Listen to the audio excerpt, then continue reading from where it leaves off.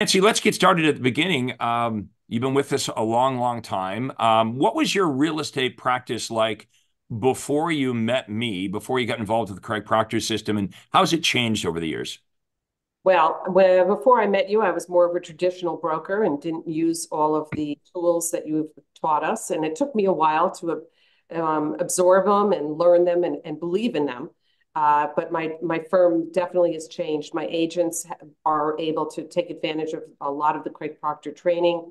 I um, also have participated in many many conferences, and so we provide the unique selling proposition and we offer all our guarantees and we distinguish ourselves from the other average agents. Now, uh, I just want to give a shout out to all the uh, realtors in the Carolinas that are, are watching this.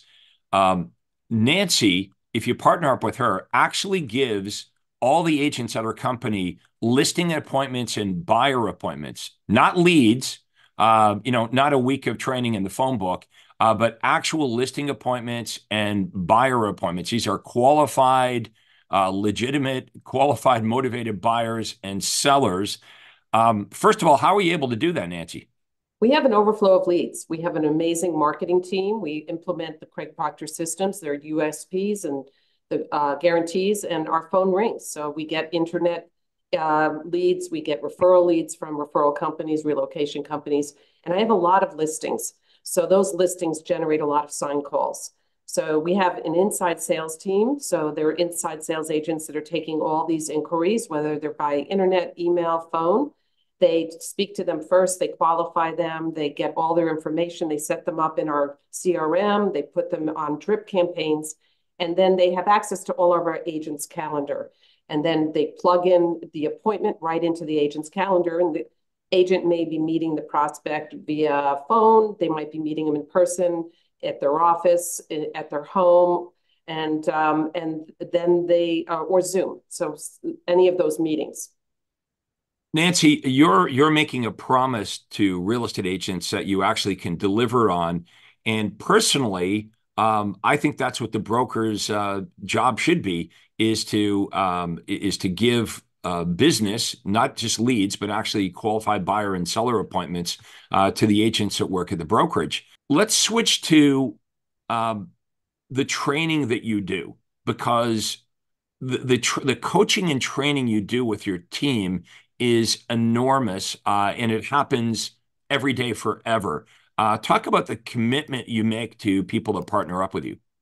So that's great. Uh, I'm big onto training. I'm educating. I, love to grow myself, so I'm always educating myself. Uh, but I also have been in the business for almost 30 years. And with that, I've had over 6,000 transactions personally. So I have so much to give and to share. And I, am an open book. I give all of my knowledge and, tra- and training that I've learned through you, through other uh, conferences and uh, books that I read, and uh, share that with my agents. So when they join us, they start up with uh, about a four week training program and they learn how to do a buyer presentation with our PowerPoint that we provide them, a listing presentation. They do role plays with me. They do role plays with our ISAs. They learn how to do the paperwork. They learn how to do all, work with all our systems and um, all our portals that they need to have access to.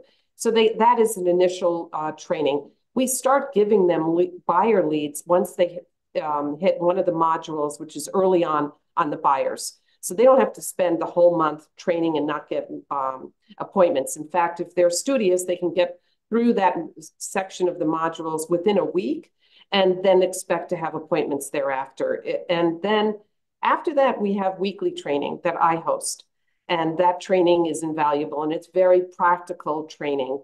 Uh, I came from a different brokerage and I felt like their training really didn't teach me the guts of the business and it was more to sell their products whereas our training is is really strong and we have special speakers that come in we have lunch meetings in the office and we have vendors that uh, support some of this uh, but it's coming from me and it's coming from things that i, believe are the latest greatest um, objection handling tools how to do the best presentation what to do when you do an open house but it's it's vast. Every tra- every week is different. Okay, so uh, I'm going to ask you a very blunt question. If I was uh, fairly new in real estate and I partnered up with you and I've got what it takes and I go through all the training, I'm uh, ambitious. What kind of money could I net in my pocket uh, being an agent on uh, working for your company? Some of my agents are well into the six figures, and it really depends, you know, on your commitment. You said you're highly motivated, you're going to work really long hours, you're going to work hard and uh, respond and follow up with the leads then you're going to do that six figure business. If, you know, some agents get into this business thinking it, it could be a part time thing, and it's not. You know, agent, uh, your clients are going to expect you to be uh, fully engaged. Now, because you spend so much time with agents that partner up with you, I assume uh, you've got a pretty good sifting process. So you're you're not bringing on people that are don't have what it takes. Uh, you know, you, you want committed people, full time realtors.